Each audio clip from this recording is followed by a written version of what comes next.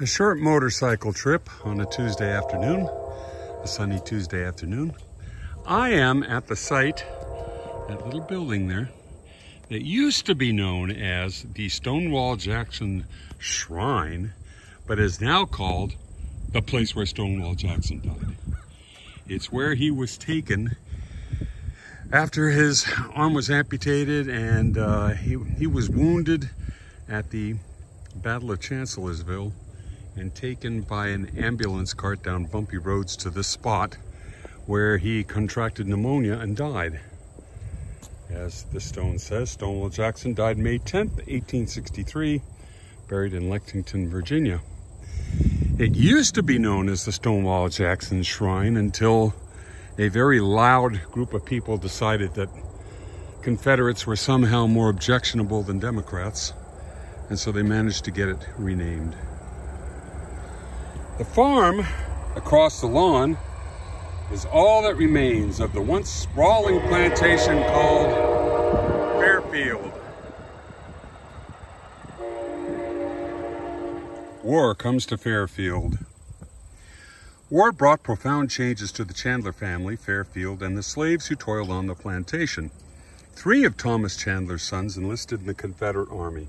When the Union Army occupied Fredericksburg in 1862, many of Chandler's slaves seized freedom, leaving the family without its customary workforce. In December 1862, the Confederates established a major supply depot at Guinea Station, just a few hundred feet from, just a few hundred yards from Fairfield's back door, that way. Guinea Station is that way.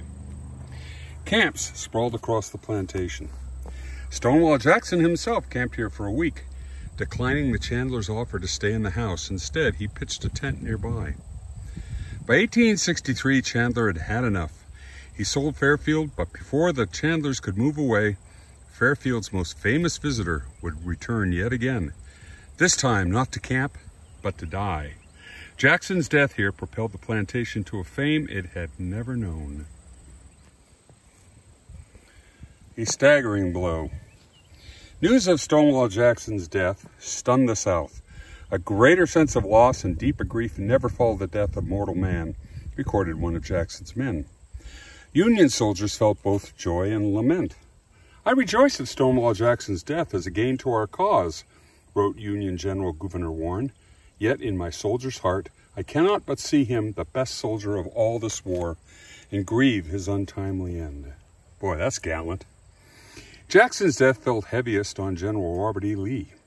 He had come to rely on Jackson to carry out his plans, and Jackson had seldom failed him. Such an executive officer the sun never shone on, Lee once said of his subordinate.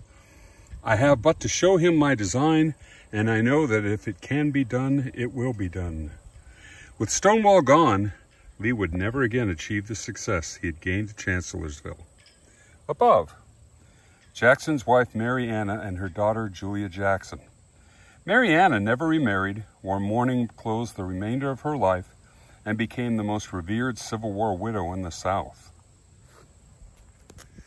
This site is a part of the Fredericksburg and Spotsylvania National Military Park, which includes Spotsylvania Courthouse site, the Bloody Angle, the Spotsylvania Battlefield, Stonewall Jackson Shrine, they have the old wording here, Battle of Fredericksburg, Battle of Salem Church, Battle of Chancellorsville, Battle of the Wilderness.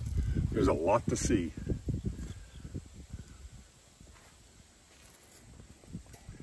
And they have a mask required. Wearing a face mask is required in this building, regardless of vaccination status your lame federal government in action. I was in this building once before in 1988 after doing a Civil War reenactment of the Battle of Chancellorsville. It was one of the 125th series. Me and another reenactor came down here to check this site out. I've never been here. The uh, ceiling joists are very low in there. And I remember I walked into one and literally saw stars. I think my forehead was bleeding a little bit too.